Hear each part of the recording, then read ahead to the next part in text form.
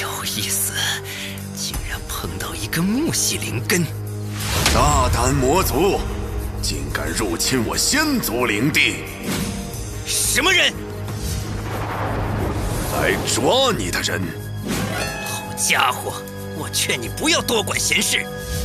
如果我所料不错，你来此是为了寻找太极宗的下落吧？既然被你猜中了，那就不能留活口了。哼，大言不惭，应刃！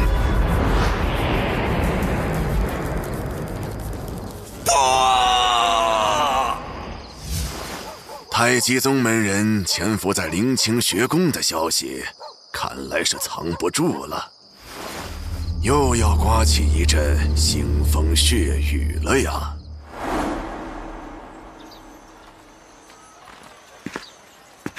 今天是什么大日子吗？怎么来了这么多人？今天可是一年一度断气日，弟子们都等着领法器呢。哦，免费的吗？怎么可能？材料和锻造费用都是学生自己出。那是在干什么？锻造师的规矩，想求他们断气，就得先磕三个响头。下一个，请大师见谅，男儿膝下有黄金，我不能跪。怎么，你不想要兵器了？什么破规矩？我们既出钱又出物，到头来还要给你们磕头，哪有这种道理？说得好，不愧是我的学生。断气之前叩三响。这可是祖上传下来的流程。叩三响，指的是你们自己在开炉之前要叩拜祖师爷，而不是拿来霸凌别人的说辞。嗯，无礼之徒，今天我就教教你做人。跪下！什么？我的身体怎么不听使唤了？喜欢磕头是吧？我就让你磕个够！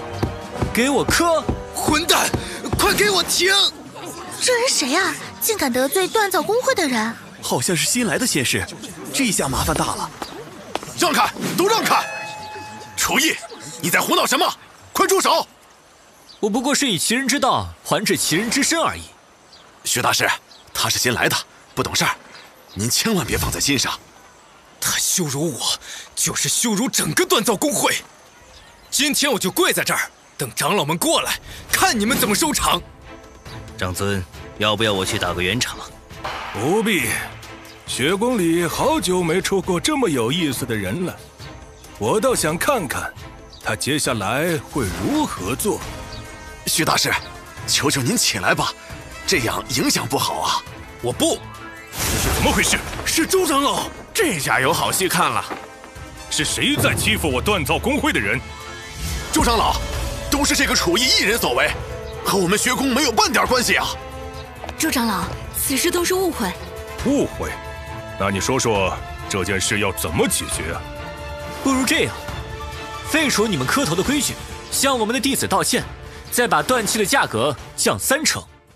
这小子的话，就是代表你们学宫的态度吗？